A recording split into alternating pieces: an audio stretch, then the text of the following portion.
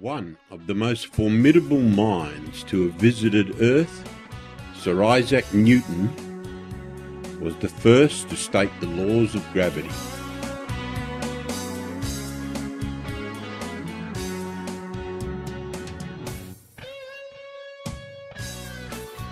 Eventually, everybody agreed that gravity alone formed galaxies and stars and planets.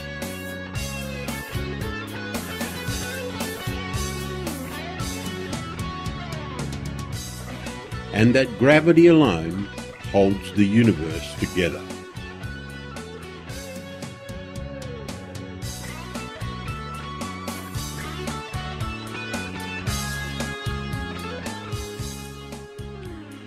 Then we discovered a force a thousand billion, billion, billion, billion times more powerful than gravity.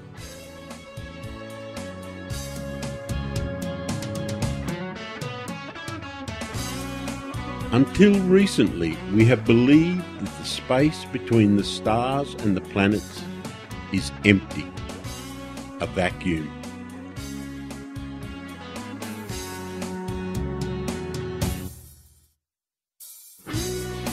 We now know we are bathed in a sea of charged particles, plasma.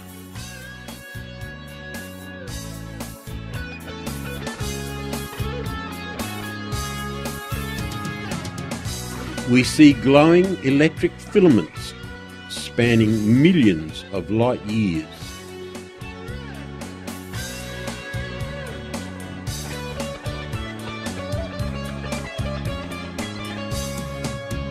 We see stellar and galactic formations shaped by magnetic fields.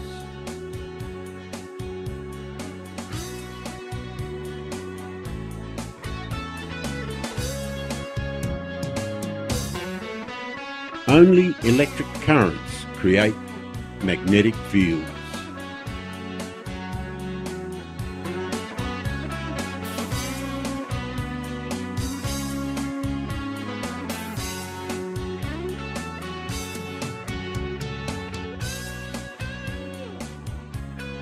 It is possible the predominant force in the universe is not gravity, but something else.